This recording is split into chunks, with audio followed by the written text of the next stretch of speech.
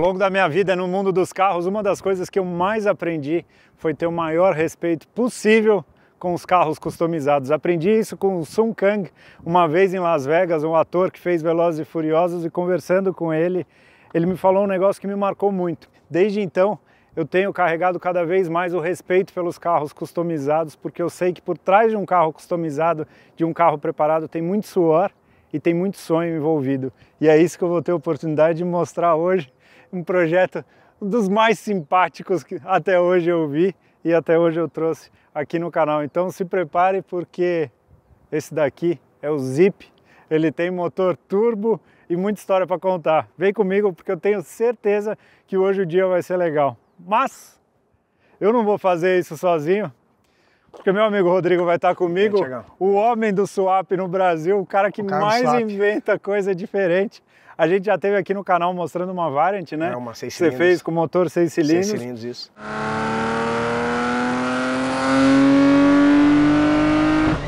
E eu quero mostrar umas outras coisas ao longo do vídeo que deve você comentar, comenta com a Vamos turma sim, Vamos das nessa. coisas que você está fazendo, mas me conta uma coisa, como é que apareceu essa recriação de um Jeep Renegade na tua vida? Me conta. Mini Renegade, né? Um mini Renegade, dá uma olhada nisso. Você não, você não tá entendendo o tamanho desse carro. Tem o Jeep, e tem, Tem o o Zip. O Zip, É. muito boa sacada. Conta pra mim, como é que foi a história? Então, Thiago, esse carro aqui chegou pra mim, é de um cliente meu, eu já faço alguns carros pra ele, né? Tá. É um motorzinho 3 cilindros, originalzinho, tem 800 cilindradas, né? Tinha. Daihatsu Core, Um. Daihatsu Cuore, isso aí. Perfeito. Isso aí. Aí ele era meio fraco de andar, tava fumando, baixando óleo e tal.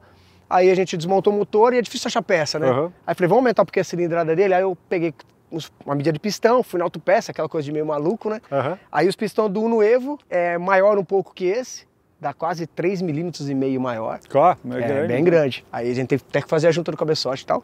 Aí foi pra 900 e alguma coisa, tipo, aumentou, não muito, mas melhorou bastante. Sim? É, a gente calculou a taxa, deu 8,8 de taxa, Aham. né?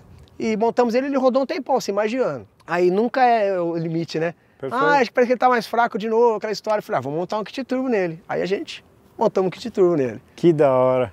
E aí o carro chegou pra você, ele já tinha essa carinha. Já, tinha tava essa cara, já, já. Esse carro foi feito faz uns, pelas informações, sete anos aproximadamente. Faz o pessoal tempo, da então. Personal lá, que fazia os tuning da época, lembra? Aham, sim. Fez todo o carro inteiro, pintura, fez o carro todo. Cara, uma coisa que é da hora, assim, quando olha, é que eles trouxeram as proporções mesmo de um Renegade, né? Isso, as dimensões, As né? dimensões, assim. Então, eu acho que desde a criação, porque deve ser tudo fibra, né? Essa parte É, de tudo fibra. paralama, né? Fibra Cê- preso na lata do carro, entendeu? Se você Caramba. observar, não tem trinca, não tem nada. Tipo, um negócio muito legal, né? Aham. E o carro ele tem assim, é, bom, a grade clássica com os, os sete elementos, farolzinho redondo e é um projetor até moderno assim, né? Legal que tem um, estão vendo?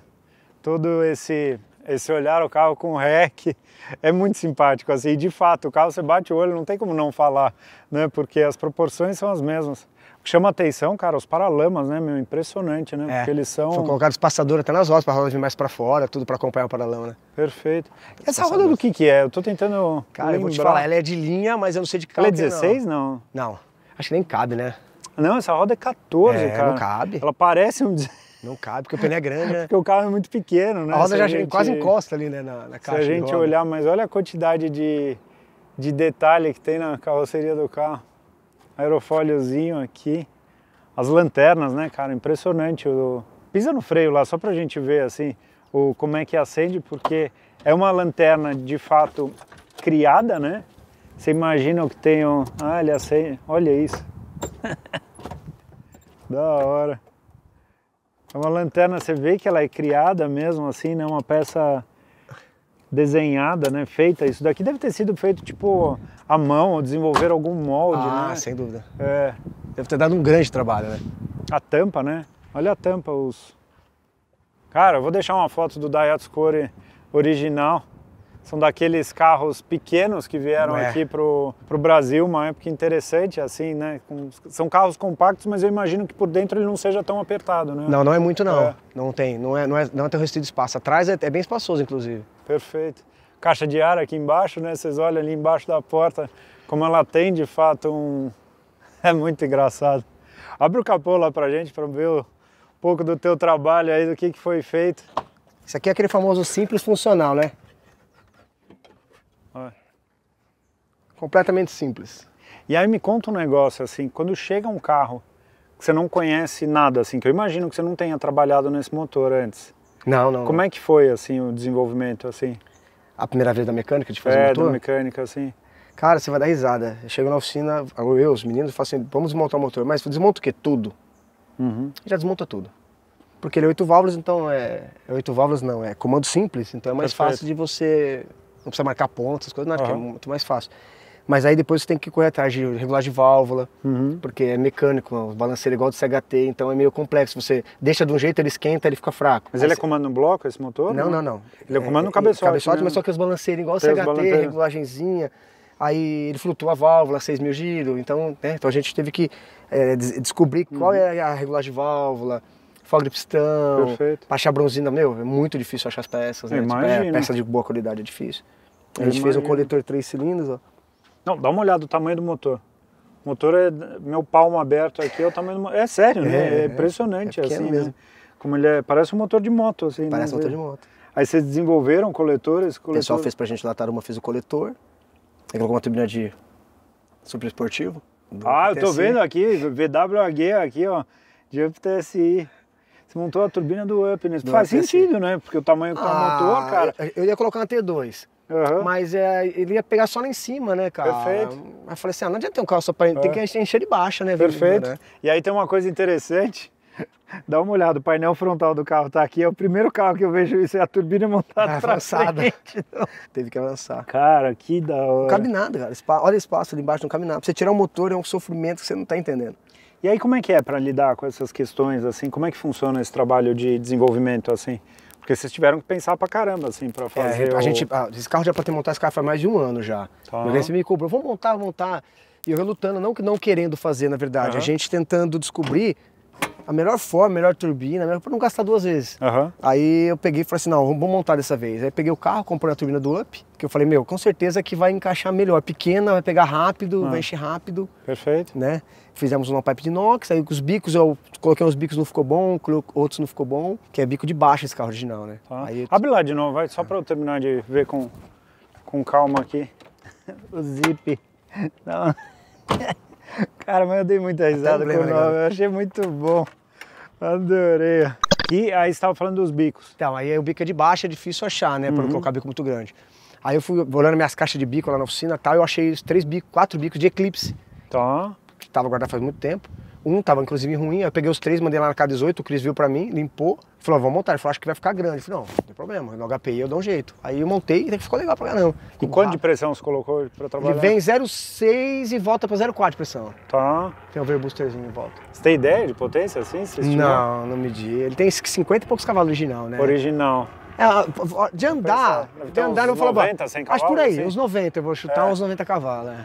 Cara, mas é um carro que deve pesar seus 600 quilos, talvez? É. 700 quilos, É. né? Ele é- Deve ele ter é- ficado modernizado. Coisa que é interessante, o coletor é comprido, né, cara? É longo, É né? longo, é. É por causa de torque, né? talvez, É. né? A borboleta dele é bem pequenininha. Se olhar aqui dentro, cara, Não, é tamanho desse do- tamanho. Por isso que ele é rápido de baixo, né? Dá uma olhada. Ó, Teve que, teve, que, ó, teve que reduzir o tubo de prestação de duas É. para dar o diâmetro da borboleta. Se liga o tamanho. Cara, que interessante. É bem simples, né, É. Thiago? Aquele, era aquele kit que montava na década de 90, 2000, lembra no começo? Uhum. Sim. Uhum. HPI, bico aberto, é o padrãozinho original, né, que, que montava na época. Aí o pessoal fala assim, ah, que você não fez mais coisa, colocou mais... Porque é, é, é um carro para passeio, pouca pressão, Não. para curtir, não é carro de performance, né? de Eu co- tenho repetido e até faço questão de compartilhar com vocês uma coisa que é o simplifique. Sabe assim, às vezes entender O- a proposta. menos é mais, né? É, sabe assim, entenda a proposta. É, Cara, é um carro para curtir, para dar. É. Eu não imagino que isso daqui seja uma coisa para correr. Não, é um carro para curtir, para tirar uma onda, onda. para brincar, enfim, para ser um negócio simpático, para despertar sorriso nas pessoas, que eu acho que é uma coisa Isso que é- isso é interessante. é, que esse carro faz. Então você ter e aí quando você desperta o olhar e de repente você dá uma aceleradinha que nem ele veio É. subindo aqui, eu, eu vim subindo dando risada, ouvindo o enche ronquinho muito dele, rápido, né? pum, ele dá umas espirradas assim, falei, nossa, olha que negócio da hora. É bem E legal, aí, né? parte de embreagem, câmbio, como é A que- embreagem dele deu um problema faz alguns meses, aí eu já fiz uma com lona heavy duty, não nada de cerâmica. Tá. Fiz o, lona um pouquinho, o disco um pouquinho maior, né? Com um pouquinho mais de carga, só um pouquinho e pronto, nada pra ficar fora. Resolveu. E o câmbio original mesmo. Tudo originalzinho. Tudo. O câmbio dele é bem longo, você na casa, Ah, é? é? Por isso que na estrada, você pegava uma subidão e tinha que baixar uma quarta. Entendi. Porque o câmbio é muito longo. dele. Acho que o câmbio é desproporcional para mecânica. Você vai andar, É, você vai imagina, entender. se o carro tinha 50 cavalos É, a original. quarta e a quinta, a quarta, você vê que a quarta é muito longa, a quinta é muito longa pro nível de carro, entendeu? Então aí com o turbo ficou muito legal. De quinta, você vê na estrada agora um pouquinho a pressão e sobe e vai embora. Você É isso, né? não perde mais. E né? muitas vezes é isso, né? Entregar a Essa é a proposta. Para atualizar. Deixa eu mostrar aqui dentro. Aqui é a revelação, porque aqui tem uma cabine de Daihatsu Kori. Ó, o dedo do Daihatsu. Cara, que alavanca comprida que vocês... É, Ela original, obviamente, é, é mais bem lá baixa. embaixo, é. Tá. E aí, que interessante, me conta um pouquinho do, do uso da, da Nano Pro. Posso ligar a ignição Pode, dele? pode ligar.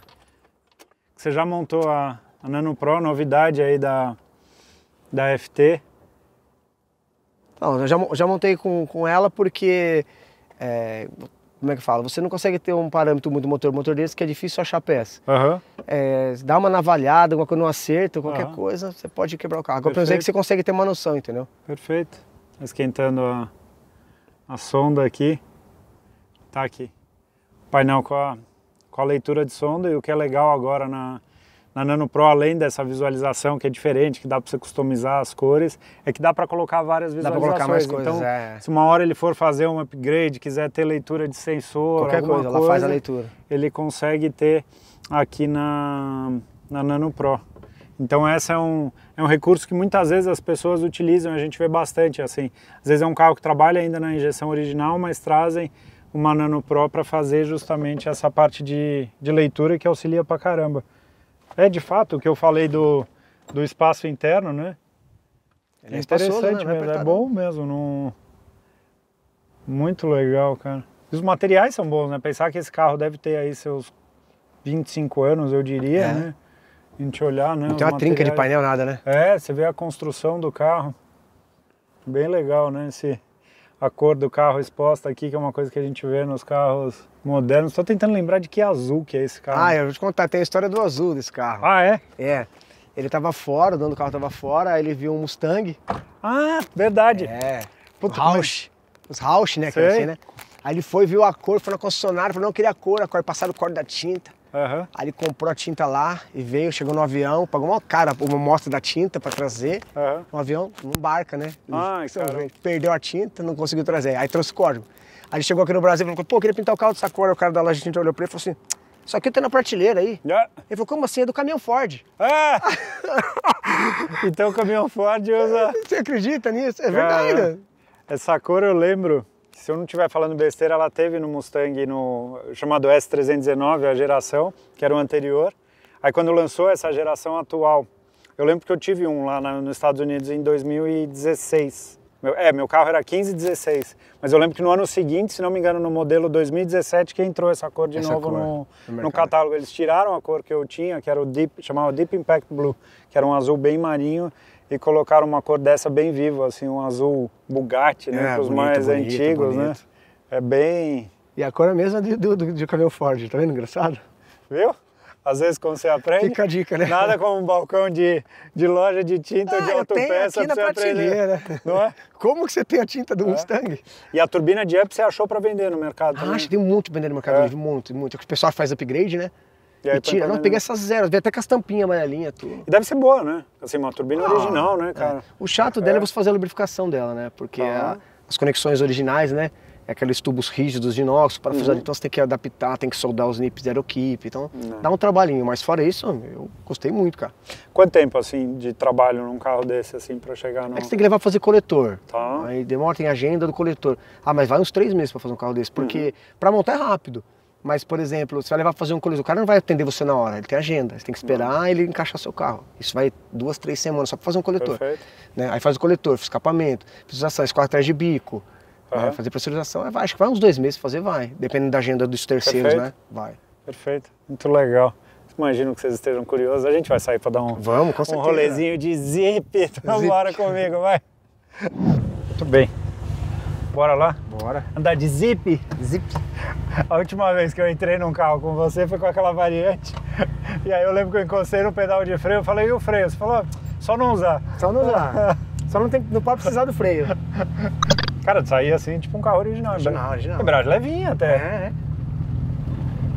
O, dono desse carro, meu cliente tem, meu amigo, na verdade, tem mais de 60 anos, né? Você coloca uma embreagem dura, que já começa a incomodar, fica ruim. Ah, né? mas isso incomoda todo Até a mundo, gente, né? Até, até Essa- nós que somos jovens. Imagina né? em São Paulo, né? Trânsito toda hora Não, aqui, ó. você tá louco. É. É o que eu falo, você não pode ficar em função do carro, né? tem Não, que ser não. um negócio que, que tem que ser gostoso.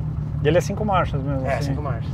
Da hora, né? Essa época desses carros eram bem simpáticos. A Hyundai tinha um que eu acho que era parente assim do Daihatsu Core, que chamava. Era o- Ah, sabe qual que é? Um Tinha um Atos, né, também? Atos, né? Atos, é. é esse aí, não era? É, Acho que era Atos. era isso mesmo. Eles brigavam ali, né, como É. super esportivos, três cilindros. É. As pessoas olham, o que elas fazem? Que carro- Dão risada. que carro é esse, É, cara? Fala, meu, que carro é esse? Cara, eu com um carro desse na mão, que eu ia tirar de onda, assim, de, de Você lugar. tira, é. de- Você tira um sarro, né, cara? Ah, de, sabe, não, de, sabe, de tirar é, uma onda é, oh, assim. muito. E um ronco, que parece um ronco de Up TSI. Parece mesmo? Parece. Falei. Eu tive um.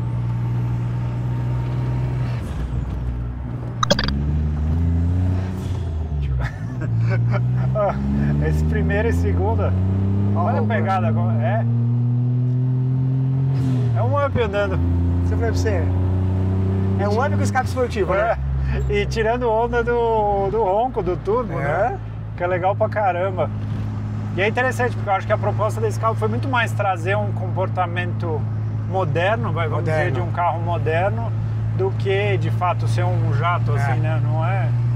Que nem a ideia, mas tem força, né? Tipo, tô em quarta marcha e é longo mesmo, é o que você falou Muito longo, cara. do carro. A gente está fazendo um caminho diferente para a turma que é mais assídua do canal, que eu deve ter algum acidente ali na Castelo e tá tudo parado. Então, vamos aqui na nossa.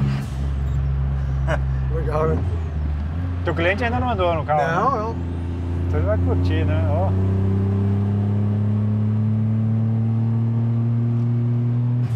Será que sobe de quatro? Ó, a força, ó.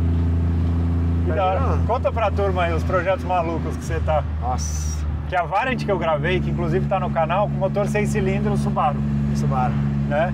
Da Subaru Tribeca. É. E aí, o que mais você tá fazendo? Fazendo uma Brasília com mesmo motor, porém biturbo. Os caras. Faz, é, biturbo, tô fazendo uma outra época de Porsche. 911 com motor H6 também, 3.6, É, é. Olha Vai ficar bem perto do original, né? Aquelas épocas idênticas, sabe? Que são É. poucas unidades. É, três Fuscas praticamente são todos iguais. Aham. 2.5, pistão, biela, depois de bloco, tudo. Dois vai, pro, vai pra Flórida, os clientes moram lá. Ai, que da hora. É, o outro é do Mato Grosso do Sul, Caramba. também, é o Itamar. Na verdade, os três são Que Itamar. também é outra preparação inusitada, né? De montar É. motor Subaru. Subaru, é. Andam pra caramba, Aí né? quando você monta uns 2.5 assim, é meio assustador no Fusca, sabe? Ah. Porque você, você coloca 230 de roda, que é o mínimo que a gente põe assim no motor desse, em 40 de torque, cara. Ah. Não Fusca. 40 de torque, é muito torque, é com pouca pressão, né? Em 40 de torque é muita Né? coisa. Aham. Os 2.0 fazendo uns, uns 4, Aham. Kombi, uma 2.5, uma 2.0. Caramba, um monte de. Tem 32 carros. E onde é que arruma Área tanto produção. motor de Subaru assim? Cara, tem, tem muito pra vender, mas antes pagava barato, né, Tiagão? Agora tá meio. tá difícil. É. É, porque, por exemplo, você ia comprar motor, o cara comprava no do leilão o Subaru lá 3, 4 pila, aí vendia motor pra você por 4 pau, 5 pau, você ia revisar, Ah. beleza. Hoje é 10 pau motor, cara. Hã? 9, daí os caras viram que o mercado cresceu e o pessoal tá cobrando isso aí, né? Você acha que os mais legais de montar são os 2.5 mesmo? Assim? Na verdade, o 2.5 Isso. tem que cortar bastante lá atrás, né? Os Quando eu vou te cabeçotes, mostrar assim. onde é a parte lateral do, do É. Fusca, porque o cabeçote é grande, né? Aham. A cabeçote do H100 então fica meio, meio complicado de fazer. Mas a parte do. Quando monta o cabeçote short, o cabeçote pequeno, não precisa cortar nada praticamente, fica Ah. bem clean, mesmo mantendo os 2.5. Eu gosto dos 2.0, cara. Os 2.0 atende bem, sabe? Entendi. O... É, porque você consegue ter um carro mais. é, como é que pode dizer? Menos perigoso. Entendi. ele tá falando do Fusca, né? É. É, todos que eu faço lá, a relação de marcha que eu uso, que eu uso todas a mesma relação. Né? Uma Aham. relação que, eu já, que a gente já escolheu, que é o que deu mais certo. Perfeito. Terceira, de painel, grudando 20, entendeu?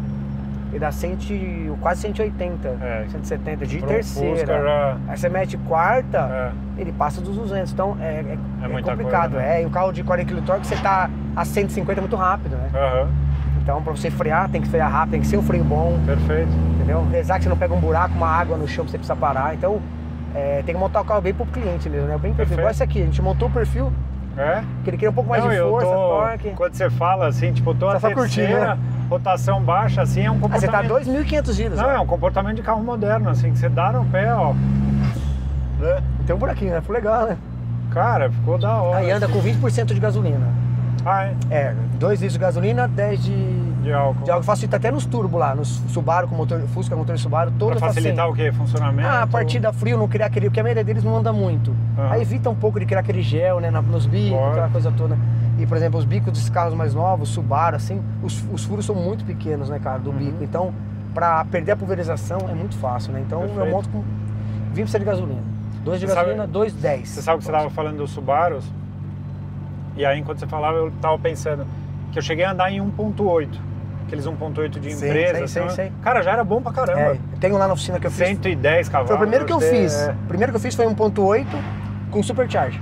E não, já fica legal. Tá andando até hoje, faz 3 anos. Ó, Tem 0,4 de charge, né? Gasolina pódio, anda até hoje. olha que da hora, né? Até hoje. São umas receitas interessantes. E aí tem mais projeto maluco, assim? O que, que já te Tem. pediram, assim? É Smart com motor Hayabusa, Ah, é, mas aí não, não, não, tem- não consigo fazer, pegar um projeto desse agora, lá para final do ano só, sabe? Porque Perfeito. vai requerer muita pensamento, né, para fazer, né? O Perfeito. nosso agora virou meio linha de produção, então é- se torna mais fácil, né? A gente não tem mais bater a cabeça em nada, ah, tal coisa dá errado, não, já sabe que vai, dando, né? Agora você pega um projeto muito diferente, dá uma travada, né? Então você tem que ter Lógico. muito tempo pra você desenvolver, com certeza.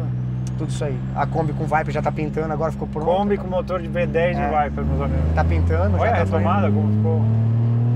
Ah, já vai dar 6 mil giros lá. Cara, é um motor de... Olha.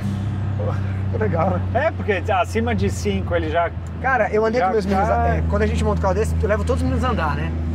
Eles, eles, eles ficaram assim, cara, superou, superou nossas expectativas, que a gente não Ah. imaginou que ia ficar tão bom, tão gostoso pelo que a gente tá procurando. E é interessante como às vezes você não precisa de muito.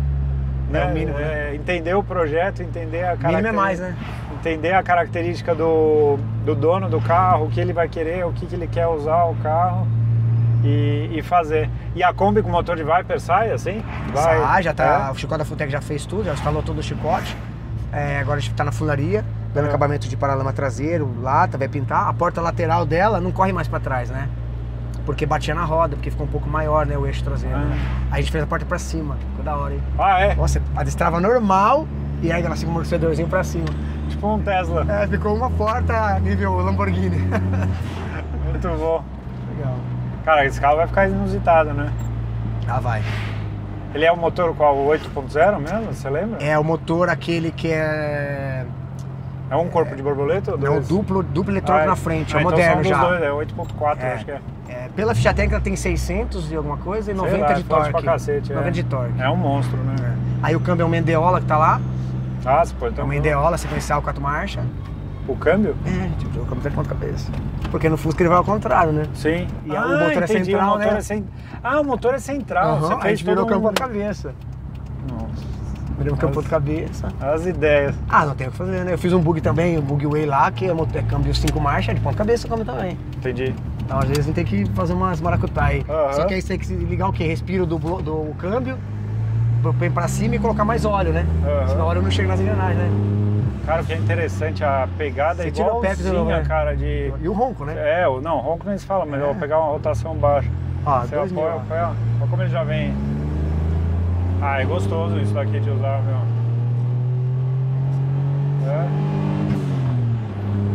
É, isso, cara. da hora. Cara, pra curtir, meu. Pô, fala. Eu que. E como é longo o câmbio, você viu que eu te falei? Louco pra Olha aqui, caramba, tá. vou pôr aqui. Olha lá, você tá 3 mil giros, ó. Mas 2.500 É, giros. tá. E cara, esses carros são interessantes, porque eu acho que você guia meio altinho, assim. Eu não sei, ele tem uma coisa gostosa, assim, de usar, assim, o... Eu gosto de carro pequeno, você eu gosta? também gosto pra caramba. Eu gosto de Ford Ka, esses carros pequenos, Smart, eu acho bem É? gostoso. Assim, Meu de, perfil é carro pequeno, né? Eu- de andar, eu ando com o braço apoiado aqui na... Tipo sabe a Discover, né? É, a Defender, né? Defender, Defender, anda- Defender. mas a posição de andar é muito legal. Eu ainda vou trazer aqui pro canal o, o Lubas, o Luiz Fernando do Box 54. Ele fez um 500 dos primeiros, aquele 500 bem quadradinho, com o motor do T-Jet. Tá funcionando já o Ah, carro. que legal. E também desses projetos malucos. Eu assim. fiz um Spazio com motor de T-Jet também. Ah, É é? turbo, é. Lá de Poço de Calda. Ficou da hora? Ficou. Imagina. Essas coisas. E eu imagino quando a gente faz os vídeos que nem o da Variant, deve aparecer uns caras meio malucos Aparece. assim, querendo fazer. Parece. Cara, Fazer- a- meu, aparecem uns projetos assim que você fala, meu, não é possível. O cara fala, não, eu quero fazer desse jeito, desse projeto. Então, vamos, e segue. E hoje em dia, tipo, você tá focado num negócio de Subaru e motor em air cooled, vai, vamos dizer, ou Não, não, não. meio que. A- a- o que, que a gente gosta de fazer? Projeto diferente, cara. Tá, Sabe esse o tesão que dá fazer um carro desse? entendi. Aí você vai falar assim, mas como assim? É, Mas não é que os outros são ruins, não. É porque é coisa diferente. Né? Fora do seu dia a dia, entendeu? Tipo, você, você- igual você, você grava um carro diferente, você pega um desse que totalmente diferente, não tem muita potência, mas é um carro mó divertido, né? Aham. Então é a mesma coisa que a gente sente lá na oficina. Quando chega um projetinho diferente, fala, putz, que legal, tal. Perfeito. Entendeu? A gente gosta de fazer adaptação, assim, criar as coisas é o é que a gente mais gosta de fazer, ó. Entendi. Que é um trabalho difícil, né? Imagina o desafio, assim, pra, pra fazer toda essa parte de. Até, até, até comentei esse dia num vídeo que eu fiz lá no, no Stories. Às vezes você vai fazer um suporte de alternador, você leva o dia inteiro. Ah, Você cortar, soldar, alinhar, posicionar, polir, aí vai. Ó, a- a- aquela carmanguia que a gente fez lá, seis cilindros, cara, eu demorei acho que dois meses pra conseguir, conseguir alinhar todas as polias com o Supercharge. Porque não tem ninguém lá e tu que eu vou levar o carro lá e o cara vai fazer todas as polias, deixar pro não, tem que fazer lá. aham. Desenvolve lá a posição de alternador. Que alternador cabe aqui esse? Ah, mas é baixa amperagem, vamos ver um maior. E assim vai. E, e o fato, de, por exemplo, de você ter uma oficina fora de São Paulo, isso é ruim pra você? Assim, não. Nível de precisar de coisas mais específicas, sim. Tá. Mas foi que a gente foi aprendendo a fazer, né? Mas foi Então, já tem os meninos que faz lá. Tem o Felipe lá que trabalha com a gente lá, o Japa, tá comigo desde o começo. Aham. É o cara que gosta de criar as coisas, cara. Tipo, ah, fazer um suporte, sei o quê, aquele cara que corta, solda, lima e pinta. E... Aham. Ele adora essas coisas. Então, a gente, a gente foi aprendendo com o que não tem, né? Não que se tivesse alguém que fazia próximo era mais fácil, né? Né? Você levava o carro lá pra fazer uma pressurização, pra fazer um negócio. Aqui não tem. Tudo que eu tenho que fazer, eu tenho que levar o carro pra São Paulo, a maioria das vezes. Campinas, Indaiatuba, depende do que for fazer. Bom, pelo menos você tem aí num raio de uma hora, uma É, hora uma e hora, pouco de casa, pouco, você é. tem. é, você tem coisa. Você sempre teve em Itu, não? Não, eu morei bastante tempo em Itu, eu fiquei um pouco em São Paulo cinco anos, depois voltei pra Itu. Entendi. Acho que eu não consigo morar em São Paulo mais não. É difícil, né? Não acostumo Eu mais. quem sai aqui, eu morei a vida inteira, né? Mas quem sai em São Ah, Paulo não normalmente é meio que não volta. Itu é uma tranquilidade, né, cara? É. Você precisa testar carro, sair andar, é pertinho, perto da rodovia, perto da estrada. Mas Isso é. Roubo, né? Essas coisas, tranquilidade, é muito tranquilo lá. Com né? certeza. Com certeza. Cara, que, que projeto interessante. Legal, Gostei. né? Gostei mesmo. Achei muito legal. A gente se deu bem mesmo, olha o trânsito. É, o trânsito tudo parado. Muito bom, valeu.